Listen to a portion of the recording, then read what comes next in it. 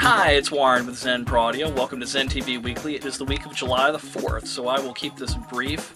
Technically, I am closed today, but I wanted to wish all of our American customers a happy Independence Day and wanted to wish a happy day to our international friends around the world as well. Last July 4th, we launched the Clipolator.